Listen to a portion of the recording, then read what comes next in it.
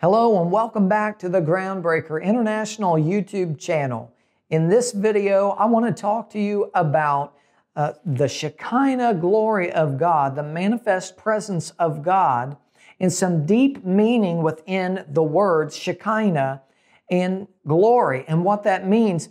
It's a little bit different, I think, than we imagine sometimes. So I wanted to bring this teaching to you today because I believe that the church needs a greater understanding of the true meaning of the glory of God. We don't have things all figured out. I know I don't have things all figured out, but I continually seek after the presence of God and seek after the mysteries of the Word of God because I believe that the more that we learn about Him, the closer that we get to Him. Let's talk about the glory of God today and the Shekinah glory and where that word comes from.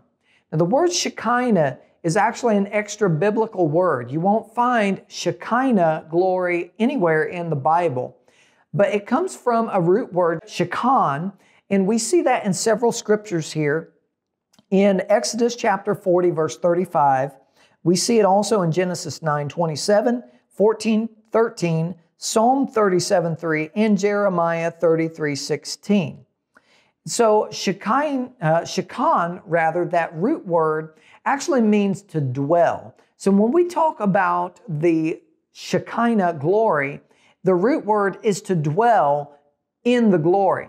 Now, Jews put that word together, Shekinah, as an extra biblical word, and it gives us an understanding of this word right here, Shekinah. This is what it means it means he caused to dwell. So the glory of God will cause us to dwell with Him and Him with us.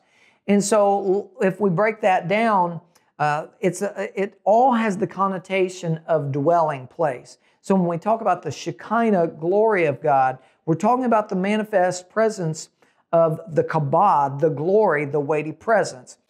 Now, even though it's not actually in the Bible, Shekinah, the connotation is all throughout the, the scripture that God wants to abide in us. He wants to dwell among His people. God wanted to dwell among His people, the Jews, and so He set forth Moses to build the tabernacle. He set forth the people to build the Ark of the Covenant, to house the presence of God, to house His Shekinah, His dwelling presence. But something that I've found within churches today is that we look at Shekinah glory as something uh, that only has one meaning to it. And what I found is, is that we tend to look at the uh, the dwelling, as just peace. And I believe that we've come to a place where we need to come past just the peace of God. Now, I find it very interesting that in the book of Enoch, which is uh, not a biblically uh, canonized book, but uh, we're just going to use it today as, as just a reference point here. But in the book of Enoch 3, the third book of Enoch, which is called the Hebrew book of Enoch, there is a rabbi by the name of uh, Ishmael ben Elisha, who is fabled to be the son of the prophet Elisha. And he has an account, a vision in which he wrote in this book of Enoch here and he talked about the Shekinah glory infiltrating his soul, bringing enlightenment and understanding.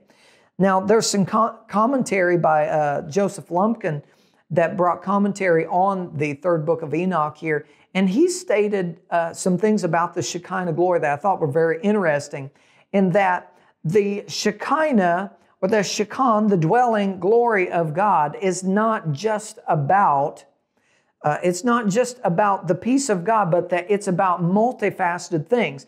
That the glory of God that manifests actually brings not just peace, but also understanding, wisdom, creativity, all different facets of God that He brings to the table. And the reason I want to tell you that is this today, speaking to the church. When we talk about the manifest presence of God, it's not just about receiving peace. It's not just about the atmosphere being charged with a peacefulness or a restfulness, although we do believe that God is resting in that place. That's what uh, we want to happen is God to rest in that place. But we need to understand that God wants to do more than just sit there and rest, that there are other things that God can put in us. Now, in the account here uh, with uh, Rabbi Ishmael ben Elisha, who had this vision and wrote this book, talked about the Shekinah glory infiltrating his soul and bringing enlightenment and understanding. And so it said that uh, during that point in time that the, the presence of God actually infiltrated, came through his eyes, that the light shone and went down into his spirit, and it brought forth a revelation. Now, think about in the Bible, John the Revelator, who uh, had an experience with God, Daniel the prophet, who had these experiences with God where they felt weak to where they could not stand up. They were in the Shekinah glory of God. They were in that Shekinah time period, uh, that Shekinah place where God was dwelling among them physically in a place where their spirit was with Him in that moment. Now, God is omnipresent, He's everywhere, but there are times where He manifests, He rests in a place and rests over His people. And so during that those times where they they are with the presence of God, they no longer are able to stand up. Many times they're not able to speak. A lot of times, even the angels that carry the presence of God with them, they're in the presence of angels where they cannot speak, they cannot stand, they can't do anything but lay dead as a dead man. And so the what happens though is after they get up because God many times will take the strength out of you to, to let you become weak so he can put something in you so that when you get back up that you're strengthened supernaturally now i, I just think it's so interesting that the time that I spend in the presence of God, in both corporately in a corporate praise and worship setting and in private, that there are many times where you just feel the presence of God so much you can't stand up. You know, uh, one of uh, a couple of my great friends, minister friends, have been asked before why people fall down in the presence of God. And, you know, some people, obviously, people can fake it. I understand that. That's not what I'm talking about. But there are times when the weighty presence of God comes and people cannot stand up in it, whether they're uh, people are praying for them and the anointing is strong on them, or whether they're just in praise and worship and seeking after God, they just can't stand up. And that was the answer that they've given them. Well, they can't stand up. It's not really that scientific. You know, our physical bodies can only handle so much. And when the presence of God comes in, sometimes our physical strength becomes depleted. And so during those times, many times God is putting something on the inside of us. And supernaturally, the glory will bring, uh, the glory will bring wisdom and understanding about things. So I look into this. For about the past decade, God has gotten a hold of me personally in such a way that I can't go back. I can't go backwards because I've spent time in the presence of God in those times.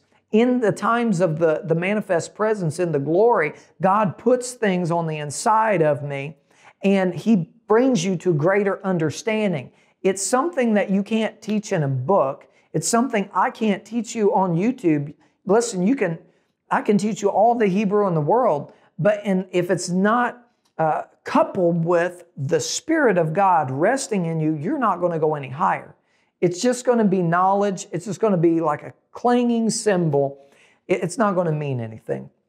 We have to have both the Word of God and the manifest presence of God in our lives enable for us to go higher, enable for us to go deeper, and for us to go uh, closer and closer to the Spirit of God. It, just a mental assent does not work. That's why uh, that dwelling, the Shekinah, God dwelling His presence in us, He's actually putting things on the inside of us.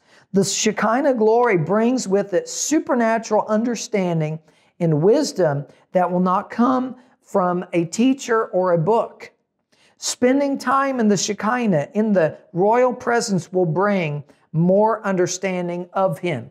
And that's something else interesting I want to point out to you. That word Shekinah there actually can also mean in the royal presence of. Like in, if you're in the presence of a king or a, a queen, in the presence of royalty. So when God comes to dwell, it's the king who is coming to dwell among us and to put something in us. He doesn't just come to give us good services. He doesn't just come to give us just a nice feeling of peace. All of that kind of thinking, honestly, it needs to stop in the church because God's trying to bring the church to a greater understanding of Him. There are so many facets of God that even the angels, when they circle around His throne saying, Holy, holy, holy, every time they circle around, they see another facet of Him. They see more characteristics they've never seen of Him before. And it causes that charge to say, You are holy, you are holy. And the manifest presence of God being so strong should cause us to see more facets of Him.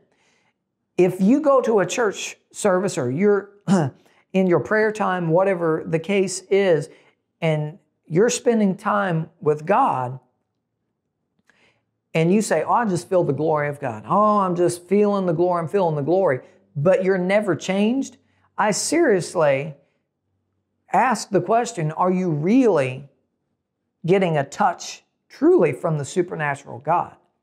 Because if God is truly touching you, God's presence, the literal manifest glory of God, the kabod, the weighty presence, is shekan. It's dwelling among you. It's going to change you. It has to change you. You're going to be enlightened with wisdom and understanding. You're going to have creative ideas are going to come out of that. Your life is going to be completely changed. And over the past 10 years, as I've spent more and more time in the presence of God, deeper than I did when I was even younger, my life has changed. My family has changed. Our ministry has gone to other levels, not because of me, it's because of spending time like a dead man laying in the presence of God, in a place of humbleness, in a place that only He can take you to the places that He wants to take you. And so that's my prayer for you today. During the time that we're in right now, all of the crazy things going on in the world, I believe that it's important for us to spend time in the kabod, the weighty presence of God, and to let Him shekan, to let Him dwell among us with His Shekinah glory, the dwelling place glory among us. And I believe that if we do that and continue to study His Word, and if you're on these videos, uh, if you're here watching right now, you're seeking after more of Him. That's what you're doing. If you enjoy all of the Hebrew teachings and all the deeper uh, meanings of the Word of God, you're seeking after the Word of God, and that's great. Now, we also need to make sure that we seek His face, not just the words on the page, but also seek the heart of God seek the presence of God, it will change your life. I hope that you enjoyed today's teaching. And until next time, God bless you. God bless your family. We'll see you real soon. Please be sure to like this video, subscribe to this channel, and ring that notification bell so you can receive updates for when new content arrives. Also, be sure to visit our website at gbreaker.org. From there, you can learn more about Groundbreaker International. And if the Lord leads you to do so, you can sow a financial seed of blessing. Now, I would like to invite you to check out one of these other videos from Groundbreaker International's YouTube channel. Until next time, God bless.